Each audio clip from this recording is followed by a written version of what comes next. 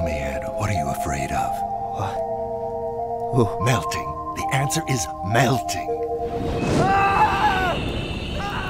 It'll start in your arms, go into your torso, and then up into your head. In a few seconds, you'll feel the burn in your little plastic eyeballs. Doesn't last long after that. What are you afraid of, Tony?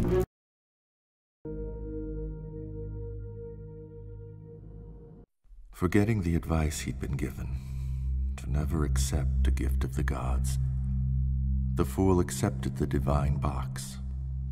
And when Pandora opened its great lid, sorrow and misfortune emerged and spread forth onto man. For a long time, Jean is delirious. His appearance is very odd. In trendy Parisian circles, one would say that he has his own style. With his military cap padded with tinfoil because of the space race, he doesn't look like a schizophrenic. He is. Slowly, surely, his mental illness has taken over.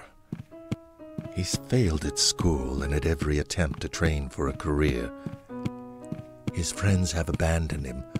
First, he was called a liar, then a manipulator, then a nutcase, cracked, crazy.